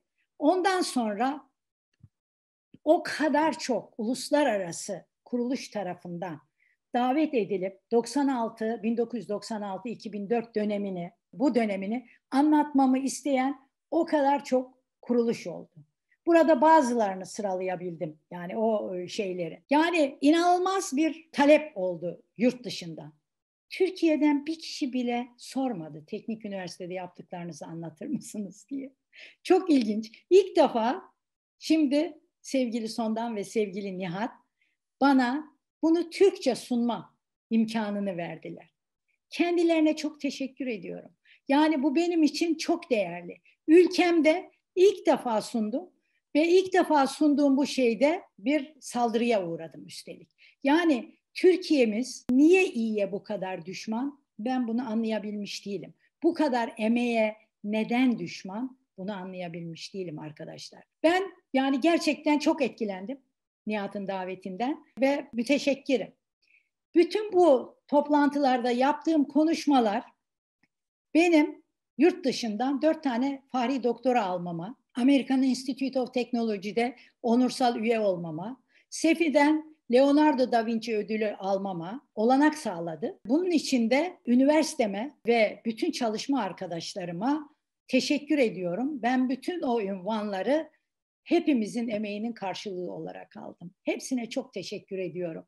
Teknik Üniversitenin adını birçok yerde hepimizin emeğiyle dalgalandırdık. Hepimizin sevinci oldu. Bunu sizinle de paylaşmak istedim. En son slide olarak bütün bu değişimin gerçekleşmesinde şüphesiz ki ben çok şanslı bir rektör oldum. Çok şanslı. Her şart bir arada. Başta 9. Cumhurbaşkanımız Sayın Süleyman Demirel.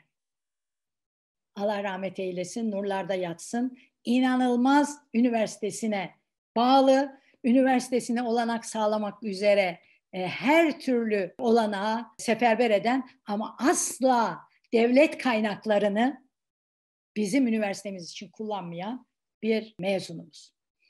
Başta 9. Cumhurbaşkanımız Sayın Süleyman Demirel olmak üzere İTÜ Atılım 2001, İTÜ 2005 Yeni Ufuklar projelerine katkı yapan sevgili mezunlarımıza, değişim sürecinde aktif görev alan çalışma arkadaşlarıma, İstanbul Teknik Üniversitesi'nin tüm akademisyenlerine, tüm idari kadroya, burada genel sekreterimiz Nevzat Özkök'e özel olarak, tüm öğrencilerimize teşekkür ediyorum.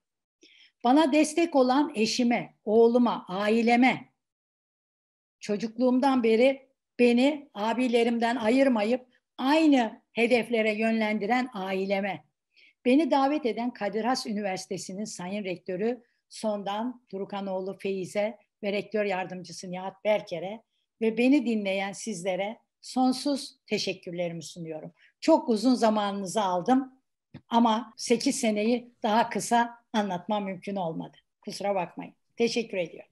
Sunuşu Çok teşekkür ederiz. Gülsün Hocam tabii ki kapatabilirsiniz. Buyurun. Bir taraftan evet. bir takım notlar ve teşekkürler de geliyor size mesajlar bölümünden. Onları okumaya geçmeden önce ben sözü Sondan Hocama ve Nihat Hocama bırakmak istiyorum.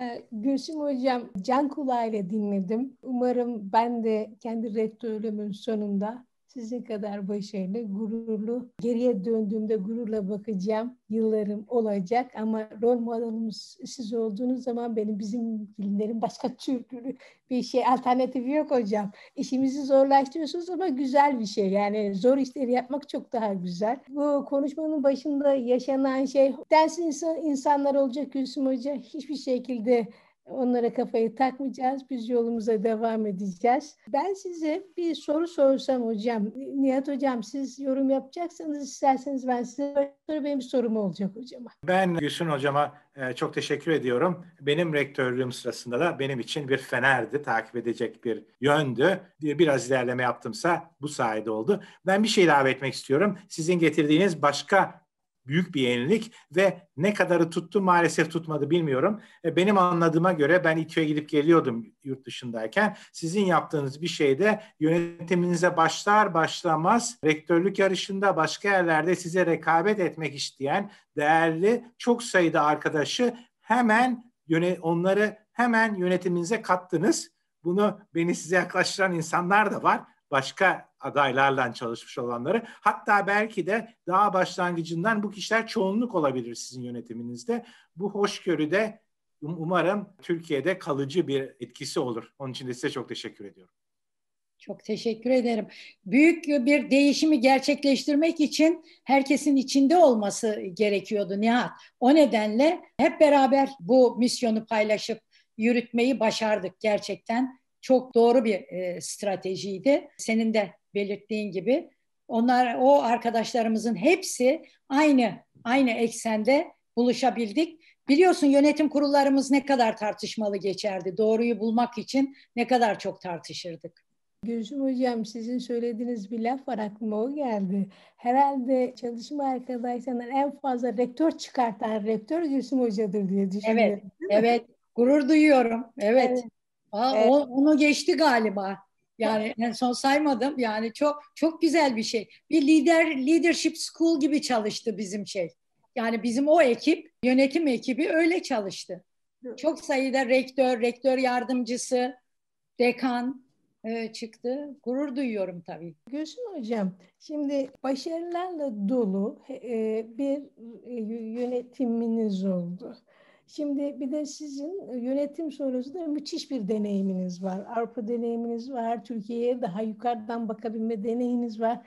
Bütün bu de, yeni deneyimlerinize baktığınızda geri döndüğünüzde şunu şöyle başka türlü yapmalıydım dediğiniz bir şey oldu mu hocam? Şimdi bakın yani burada en büyük hayal kırıklığını İTÜ Geliştirme Vakfı'na benden sonraki yönetimin yaptığı haksız uygulama dolayısıyla en büyük acıyı orada çektim ve çekmekteyim. Çünkü çok güzel bir sistem kurulmuştu. Bizim hedefimiz şuydu.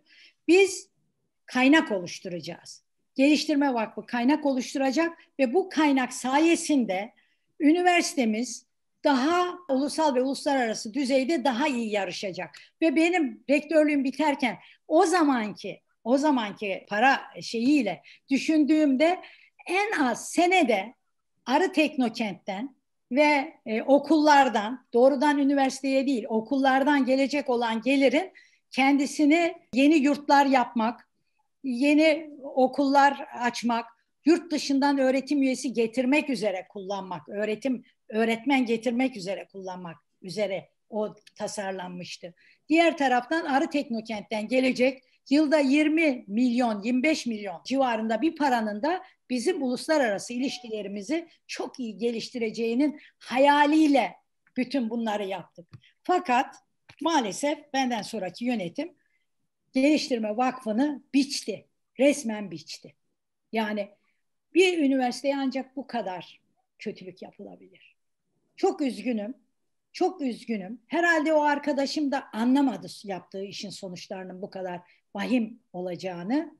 Bir herhalde anlamış olsaydı yapmazdı diye düşünüyorum. Ama yaptığı Geliştirme Vakfı'nın elinden 49 yıllığına kiralamış arazilerde yaptığı binaların hepsini alıp onları kiralan üniversiteden kiralanabilir konuma getirince İTÜ Geliştirme Vakfı son derece kırılgan hale gelmiş oldu. Halbuki o dönemde Orta Doğu Boğaziçi Üniversitesi'nin yaptığı, geliştirip onların vakfının yaptığı bütün binalar vakıfta kaldı.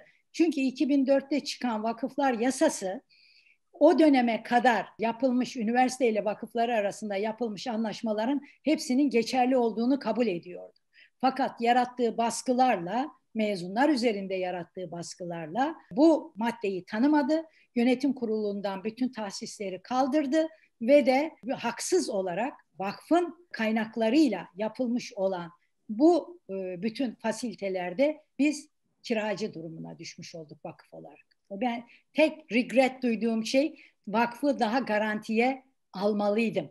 Düşünmedim böyle bir şeyin olacağını. Almalıydım onu düşünemedim. Teşekkür ederim hocam. Çok teşekkür ederiz Gülsün hocam. Bir taraftan gelen mesajları da sizinle paylaşmak istiyorum. Bir rehber öğretmenimiz Songün Yılmaz yazmış e, size hitaben. Sayın hocam, Kasım 2019'da üniversiteye hazırlanan bir grup öğrencim ile İTÜ'yü gezmiş bir rehber öğretmen olarak onur duyduğumuz, bizi adeta büyüleyen İTÜ nezdinde size ve bilime katkı sunan bütün bilim camiasına sonsuz saygı ve teşekkürlerini iletiyor. Evet. Türkiye'nin gelişimine katkı sunan bu tür üniversite ve kurumların artması dileğiyle saygılarını iletiyor hocam size. Songül hocamız. İletişim Fakültesinden Levent Soysal hocamız çok kısa da olsa 1979-83 yılları arasında İTÜ'de çalışmış bir akademisyen olarak yapmış olduğunuz her şey için size teşekkürlerini iletiyor. Levent hocamız da aramızda şu anda. Nevzat Özkök hocamız da burada bizimle birlikte. O da idari kadroya teşekkür ederken ismini söylediğiniz için size çok teşekkür ediyor. Çok duygulandım diyor. Bence ee, Türkiye'nin en iyi genel sekreteri, Türkiye üniversitelerindeki en iyi genel sekreter. Aa, hocama çok teşekkür ediyorum. Evet. Merhaba Sondan Merhaba. Hanım. Merhaba, Merhaba Nihat Hocam. Merhabalar. Hocamdan 8 yıl boyunca 8 yıl değil hatta 12 yıl boyunca çalıştık. Evet. Çok şeyler öğrendik hocamdan. Bizi her zaman sevgiyle kucakladı. Ufkumuzu açtı. Kendisine her şey için çok teşekkür ediyorum. İnanılmaz şeyler yaptı. Hala da devam ediyor. Hep beraber yaptık. Hep, ber- hep beraber yaptık tabii. çok güzel şeyler yaptık. Çok teşekkür ediyorum hocam. Çok sağ olun. Sağ ol, sağ ol. Çok teşekkür ederim. Sağ olun. Hasan Dağ hocamız da bizimle birlikte. Hasan hocam buyurun sözü size vermek istiyorum. Yusuf hocam merhabalar. Merhaba Hasan nasılsın iyi misin? Çok teşekkür ederim hocam sağ olun. Siz nasılsınız? Ben de iyiyim. Rektör yardımcılığın hayırlı uğurlu olsun.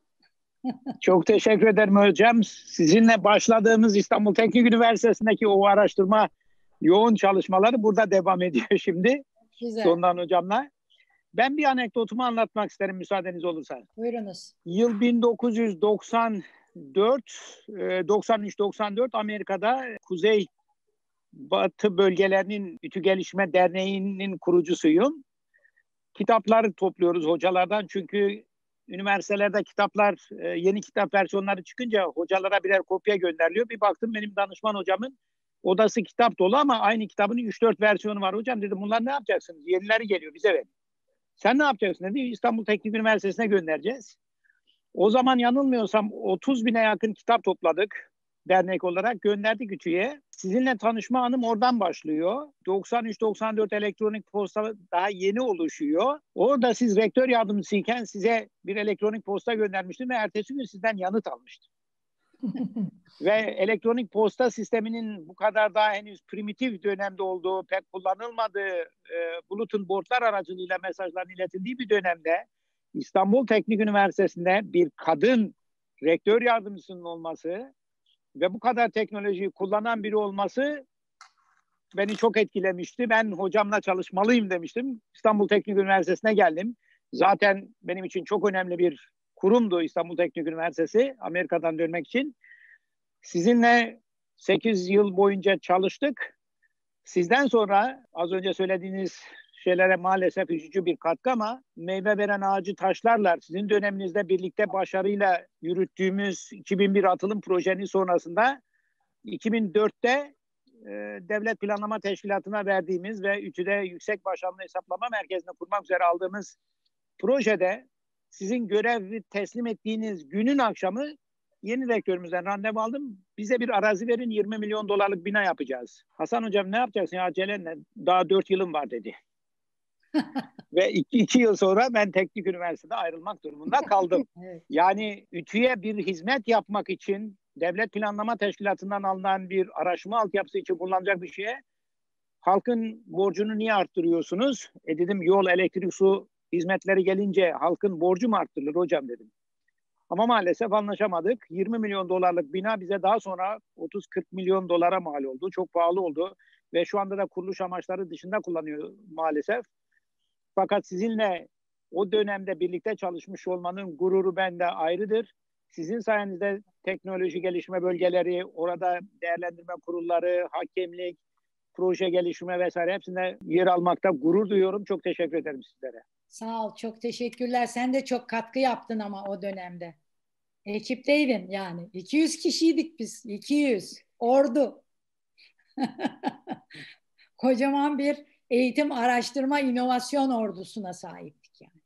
Evet. Çok çok güzel çalışmalardı. Evet. Tekrardan hem İstanbul Teknik Üniversitesi adına hem Türkiye adına hem de bir kadın araştırmacı olarak bir önderlik etmenize çok çok sevindim. Ancak bu yolla ilerleyeceğiz. Ona canı gönülden inanıyorum. Evet ben tabii teknik üniversiteye olan bağlılığım 9 yaşında başlıyor. Ben 9 yaşında İTÜ'ye gidip mimar olacağım diye bir şeye takıldım, hayale. Ve hep onun için çalıştım.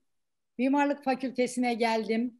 Mimarlık Fakültesini çok sevdiğim bir fakültedir. Taşkışla binası. Öğretim üyeleri, unutulmaz öğretim üyelerinde eğitim aldım. İnanılmaz hocalardan feyz aldım.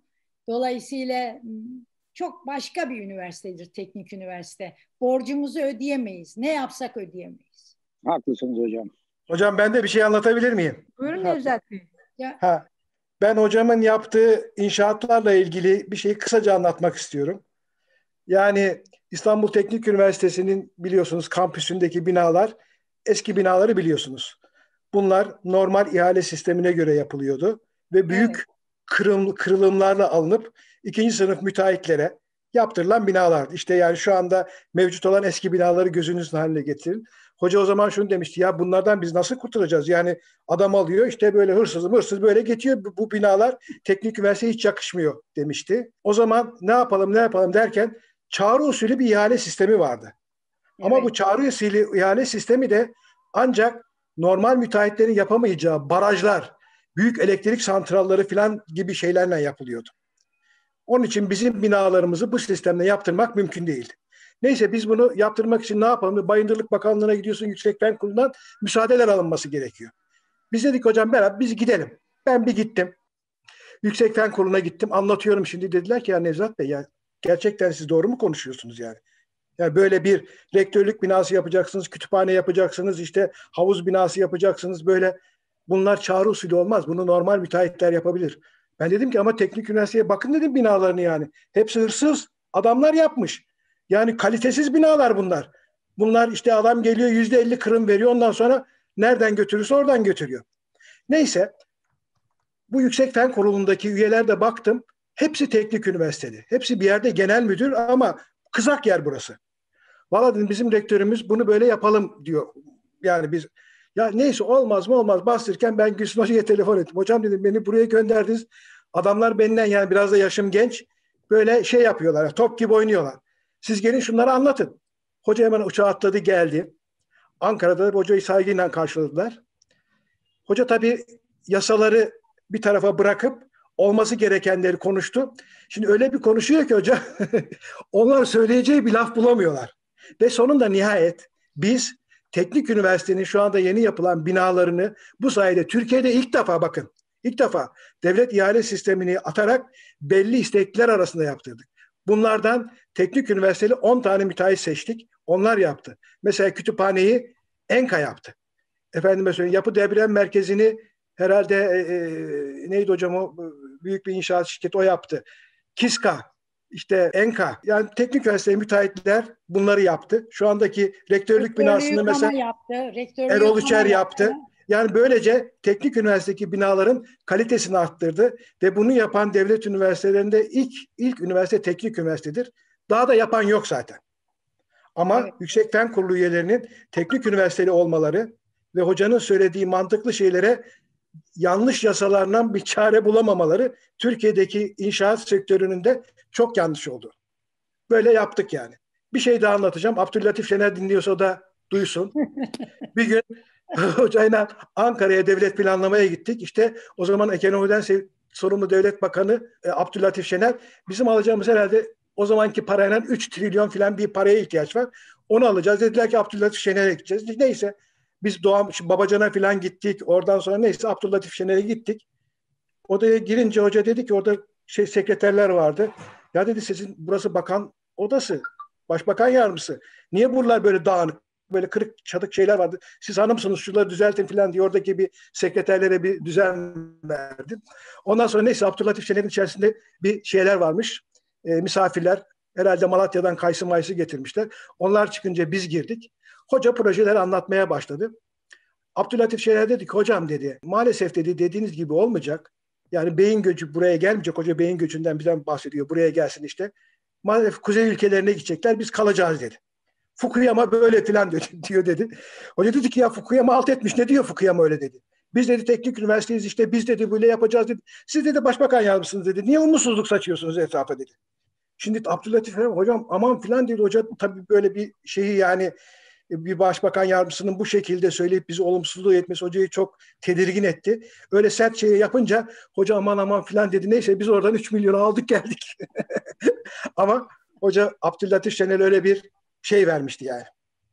O da Fukuyama dedi. Onu hocam unutmuyorsun. Fukuyama diyor evet, ki dedi. Evet Fukuyama e, dedi. İyi e, güzel. Kuzey de. ülkelere gidecek bütün bize gelmeyecek. Bize fakir kalacağız filan diyordu. Siz yani, dedi bak böyle hayır, umutlarla... kendisinin görevi o gibi evet. durdurmak olması lazım. Onu evet. bir önlenemez bir şey olarak görüyor. E onu evet. durdurmak için gayret sarf et, bize yardım et değil mi yani? Evet, Adam, evet. Öyle bir şey oldu. Yani daha anlatacağım çok şeyler var. On, onlar uzun yapılacak Türkiye'de yapılan ilkler var. Yani bürokrasiyi delmek açısından çok şeyler yapıldı. Onları bir ayrı bir program yaparsanız onları anlatacağız yani. Bu iki tane şey teşekkür ederiz. Ben evet. hazine kredileriyle ilgili bir şey söyleyeyim. Evet, Şimdi evet. ben gidiyorum her seferinde. İşte e, proje götürüyoruz. İşte vardı yoktu bilmem ne. Ben diyorum ki ben diyorum biz İstanbul'dayız. Siz burada diyorum Ankara'da herhalde Orta Doğu'ya filan veriyorsunuz diyorum bu kaynakları. Biz alamıyoruz. Uzakta kalıyoruz. Şöyle oluyor böyle oluyor. Çıkardılar. Dediler ki hocam insaf et dediler. Yüzde seksenini İTÜ'ye vermişiz dediler. Bakın buraya bütçeyi gösterdiler. Utanmıştım o zaman yani. Çıkıştığım için. Evet, evet. Hep alacaklı çıkma e, şeyini, e, stratejisini belirledik. Her zaman biz alacaklıydık yani. Öyleydik. Evet. Güzel yıllardı ama çok yardım eden oldu Nevzat Bey. Çok yardım eden. Evet hocam. Evet çok. herkes. Evet. Daha çok yani. Siz anlattınız zaten. Ben evet çok yardım eden. Hocam çok sayıda teşekkür mesajı gelmeye devam ediyor size. Mezunlarınızdan, için mezunlarından e, teşekkürlerini sunan çok sayıda dinleyicimiz, katılımcımız var bugün. Serap Çatalpınar çok teşekkür ediyor bir iki mezunu olarak. Özellikle kadın mezunlar olarak gururumuzsunuz, idolümüzsünüz demiş size. Sebahattin Eker, İTÜ Genel Sekreter Yardımcısı ve İTÜ 1997 Elektrik Elektronik Fakültesi mezunu olarak size çok teşekkürlerini sunuyor. Yine e, Nimet Uray hocamız, işletme bölüm başkanımız Kadir Aslan, kendisi de bu harika sunumunuz için çok teşekkür ediyor. Ve İTÜ'den emekli olan bir Kadir Aslı olarak benim için ayrıca hem anlamlı hem hüzünlü ama bir o kadar da gururla dinlediğim bir yolculuk oldu diyor. İTÜ'de bir kadın rektör gerçek anlamda çağdaş ve çok dinamik bir dönemde tekrar teşekkürler demiş hocam size. Ahmet hocamın da mikrofonu açık. Buyurun hocam. O zaman buraya gelsin. İçerideki odada. Geliyor. Kalk. Geliyor. hocam. gel gel burada söyle ne söyleyeceksin arkadaş. E, evet. Kusura bakmayın. Ee, e, çok güzel bir e, toplantı oldu bana göre de. Sayın rektörüme, e, rektör yardımcısına, arkadaşlarıma sevgi ve saygılarımı sunuyorum. Herkesi tekrar görmek çok güzeldi. Biz e, Gülsün'le 51 senedir evliyiz. E, bir oğlumuz var. O da 50. yaşlarına falan. Yok 46. 46 mı? Doktora yapıyorduk. 5 sene sonra oğlumuz doğdu. E, Gülsün ona e, Emin yeni e, büyürken diyordu ki e, ben 104 yaşıma kadar yaşayacağım. Emin de hesapladı ya anne sen ne yapıyorsun? Ben de o zaman 78 yaşında olacağım. Bize kim bakacak diyor. Gülsün'le e, yaşamak çok e, renklidir. Çünkü e, her, her gün bir projesi vardır. Ve bunları da ben de kendi işlerimle ilgili çalıştığım için kafam dolu olmasına rağmen sürekli benden konuşur. Yani şunu şöyle yapacağım ne dersin? İşte bu şurası şöyle mi olmalı, böyle mi olmalı? Dolayısıyla beni de her gün canlı tutan, e, meşgul tutan e, bir, bir kişiliği vardır. E, Gülsün inatçıdır. Yani kafasına koyduğunu yapar. Ben de bunu başından itibaren öğrendiğim için e, genelde rezistans göstermemeye çalışırım. Bana göre Gülsün'ün e, Gülsün'ün rektörlüğünden bir kere zarar gören bir insan varsa o benim. Dikkat ederseniz benim ne dekanlığım var, ne yönetim kurulu, üniversite yönetim kurulu üyeliğim var, ne senatörlük yaptım. Hiçbir e, şeyde sen benim eşimsin, otur oturduğun yerde. Benim de talebim olmadı da ön sıralarda bile oturduğum törenlerde enderdir. E, ama böyle olması lazım. Doğru olan oydu. Gülsün'ün üniversitemize yaptığı en büyük hizmet bence eğitim sistemine getirdiği reformdur. Bunu yapmaya çok az insan cesaret edebilir bir üniversitede. Hele 230-240 senelik bir üniversitede kimse cesaret edemez. Gülsün bunu da kafasına koyduğu için do, üniversitenin bu geleneksel yapısını, Alman ekolünden gelen yapısını değiştirmeye karar verdiği için buna cesaret etti ve biz e, Sapanca'da bir otelde bunun toplantıları yapıldı senatoyla, senatörlerle. E, oradaki katılanların hepsi gözümün önünde. Ben de dışarıda heyecanla bir jürinin kararını bekler gibi e, bekledim. Sonunda Gülsün'ün çıkışındaki yüz ifadesinden anladım. O tutucu senato Gülsün herhalde çok iyi anlattı veya takım arkadaşları çok iyi anlattı. Eğitim sistemimizdeki reform öyle başlamıştır ve çok zor gerçekleştirildi. Düşünün ki klasik sistemdeki 200 küsür kredilik dersleri 50'sini kırpıp 153'üne 153'e indiriyorsunuz. Bu ne demek? Bir kısım insanların dersi gidiyor demek. Bu, müfredattan çıkıyor demek. Bunu cesaret etmek bir klasik üniversitede koca koca e, profesörler varken e, yani insana derler ki ya sen kim oluyorsun da benim dersimi kaldırıyorsun. Nitekim yıllar sonra Portekiz'de e, Coimbra Üniversitesi'nin Coimbra Üniversitesi'nin rektörü hidrolikçi inşaat mühendisi e, birisiydi. Gülsün'ü üniversitesine davet etti. Ben reform yapamıyorum. Özellikle hukuk fakültesinin hocaları bana burada kan kusturuyorlar. Gelip şu akreditasyon işini bir anlatır mısınız? Aynen bizdeki gibiydi. Hukuk e, profesörü hocalar geldiler e, ve gen, genç rektör Ferdinand mıydı ismi? Frederick? Fernando. Fernando. Seabra.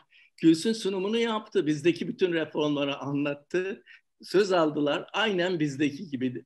Dediler ki biz en iyisiyiz. Ne reformu dediler. Yani niye reform yapıyorsunuz? Biz çok iyiyiz dediler Coimbra Üniversitesi. Dolayısıyla bana göre Gülsün'ün en büyük başarısı odur. Evet. evet çok teşekkür ediyorum. Saygılar sunuyorum. Bir iki şey söyleyerek çok vakit aldık. Ee, saat kaçı? Altıya geliyor. Bir iki e, anımı paylaşmak istiyorum. Biraz gülersiniz diye, neşelenelim diye. Şimdi ben ilk seçime girerken 10 tane erkek aday vardı. E, ben de tek kadın aday olarak giriyorum. Sağdan soldan bir sürü telefonlar geliyor. İşte sen kadınsın, sen mimarsın. Hatta mesela e, bir e, Fen Edebiyat Fakültesinin dekanıydı galiba bir arkadaşımız bir ara.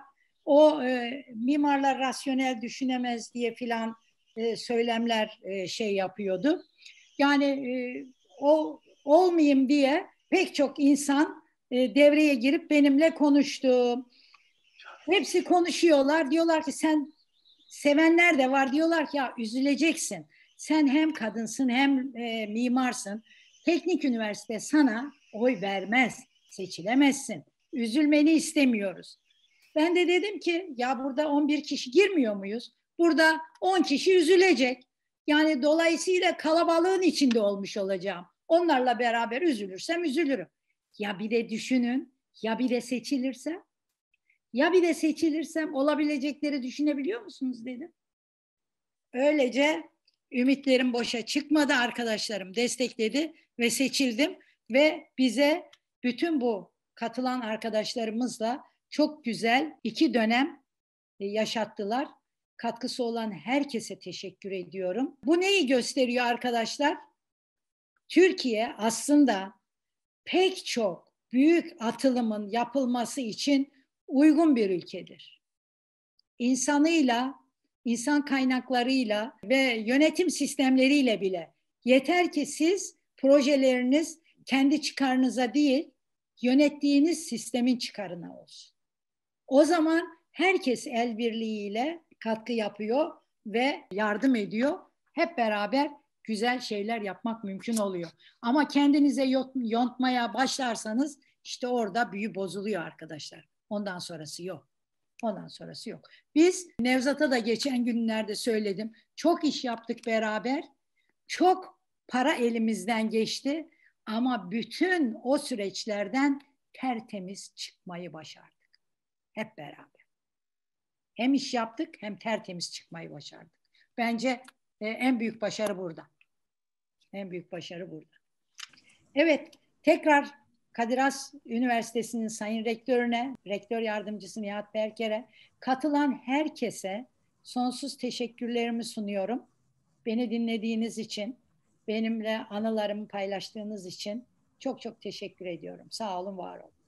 Biz teşekkür ediyoruz hocam. İyi ki varsınız. Ne güzel dinledik. Biz de önümüze hedef kendimiz için e, aslında çok güzel bir örneksiniz. Biraz önce söylediniz. Doğru insan kaynağını, doğru hedefleri bir araya getirdiğiniz zaman bambaşka bir dönüşüme vesile oluyorsunuz. Aslında bu kadar da basit bir yolu var. Evet, aynen öyle. Bu kadar da basit bu iş gerçekten.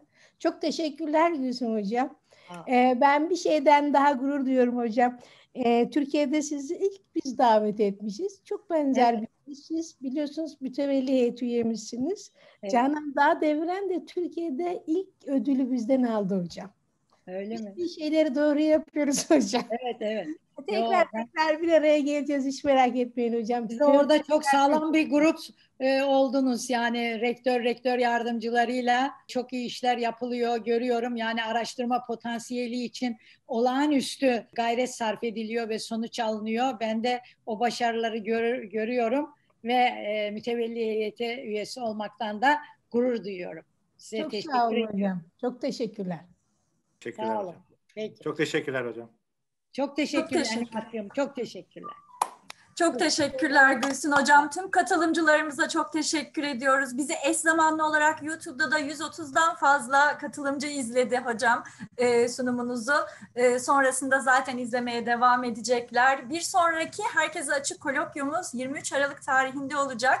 Şimdiden e, takviminize e, not ediniz. E, çok teşekkür ediyoruz. Herkese iyi akşamlar diliyoruz. İyi akşamlar. İyi akşamlar. İyi akşamlar.